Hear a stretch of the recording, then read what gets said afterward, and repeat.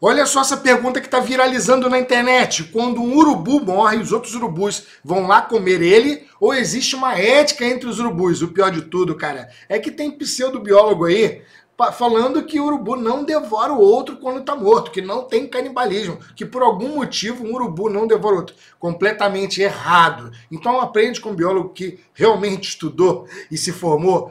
Urubu, sim, devora o outro, a gente tem registro tem até artigo publicado. Se está duvidando, então vamos para o artigo aqui, ó. Tá aqui, ó. Canibalismo by Black Vultures, Courage Atratus. Ou seja, urubu, inclusive tem até a foto do registro aqui, ó. Black Vultures feeding, feeding on juvenile, juvenile of Black Vultures carcass. Tá aqui, ó.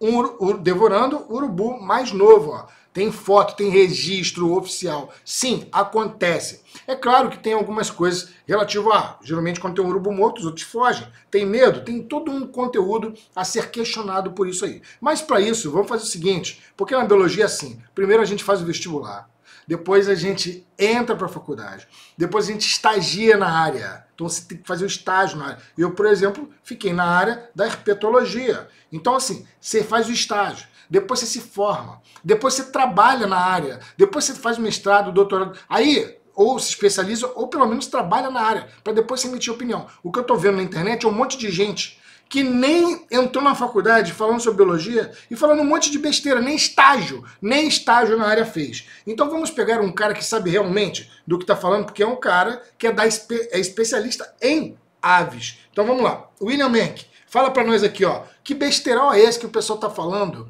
que o urubu não faz canibalismo. Dá para acreditar nisso? Fala para nós. Fala, meu velho, beleza? Cara, isso daí é dos mesmos criadores da cobra que mama em teta de vaca e do João de Barro que, que não trabalha aos sábados. não, isso daí não é verdade, não os urubus, assim, os cartantia de forma geral, se eles estão com muita fome e encontrar uma carcaça de urubu, eles vão comer sim. Isso é, isso é fato, isso tem documentado em artigos científicos, tem um monte de relato e tal, isso acontece. É, tem até um artigo, vou te passar aqui depois, que além de ter vários relatos de, de os urubus se alimentando de outros urubus da mesma espécie, tem um, um caso de canibalismo, ou seja, de um urubu adulto alguns urubus adultos atacando um jovem urubu da mesma espécie, na intenção de matá-lo para posteriormente comê-lo. É uma loucura, meu velho. Então, no artigo aí, você vai ver que os caras, eles relatam ali um experimento que eles fazem lá nos Estados Unidos com o Coragypsis atratus, né, que é o urubu mais comum, que eles colocam nos puleiros uns carcaça de urubu morto pendurado assim, cara, para inibir os urubus. E assim mais ou menos funciona é, se eles fazem em empresa e tal, os urubus veem a carcaça dos urubus pendurados, hum, alguns entendem aquilo como uma situação de perigo, a gente não sabe o porquê, mas aí tende, alguns tendem a se afastar. Mas tem outros urubus que pousam no poleiro que está com a carcaça pendurada ali, fica beliscando. Se a carcaça, carcaça fica disposta em cima do poleiro, os urubus se alimentam dela. Então, então, só isso daí já caiu por terra, esse conto aí da, do pessoal. Se ligou a parada dos experimentos dos caras? Coloca carcaça de urubu para espantar os urubus. De fato, alguns ficam com medo. Outros vão lá e comem. o pessoal vê, né? Vezes carcaça na estrada e não vai nenhum urubu lá comer, já fazem essa associação. É que os urubus, claro, eles têm as preferências deles. Eles, eles é, eles, embora seja carniceiro, se tem um urubu ali que já tem, tem assim, suas áreas de forrageio preferencial, ele vê uma carcaça ali, mas naquela estrada ele sempre costuma encontrar outras carcaças mais suculentas, digamos assim, eles vão dar preferência por outros tipos de pre... outros tipos de carcaça, né? Porque a carcaça de urubu não é muito seca, a carne não é assim, não é não tem um tão um custo-benefício tão bom quanto a carcaça de um gambá, de um tatu, de um outro de um outro animal. E tem um outro fato também que, bom, se alimenta tanto do indivíduo morto ali, bem caracterizado, do bicho morto no chão, a carcaça inteira, quanto se o bicho estiver todo destruído ali, tudo só um pedaço de carne, sendo de urubu, não tem nem como ele saber que aquilo é de urubu, não. Ele vai comer do mesmo jeito, né? Mas é isso, meu velho. Um abração aí.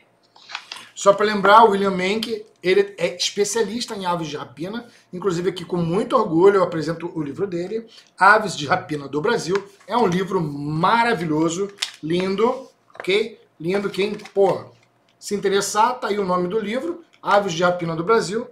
É fantástico o livro. Inclusive, eu não queria fazer inveja à galera, não. Mas já fazendo uma inveja à galera, eu tenho uma dedicatória escrita pelo William Menck. Tá aqui, ó. Meu amigo biólogo Henrique, um dos maiores divulgadores científicos do nosso país. Seu conhecimento sua simpatia conquistou a todos à sua volta. Obrigado por ser uma das minhas fontes de inspiração, William Menck em 2021. Pô, William, cara, isso aqui me deixa tão emocionado, cara. Eu sou tão fã seu, do seu trabalho. Você é um cara incrível. E o detalhe, como você é especialista da área, e é assim que funciona a biologia, tá, pessoal? Ninguém sabe de tudo, as pessoas têm o seu é, hall de contatos, daqueles que estudaram e se aprofundaram em determinada coisa. Quando eu procuro saber algo sobre aves de rapina, por exemplo, não tenho a menor sombra de dúvidas. É o William que eu vou procurar para saber maiores informações e eu aconselho a todo mundo conhecer o canal dele, né?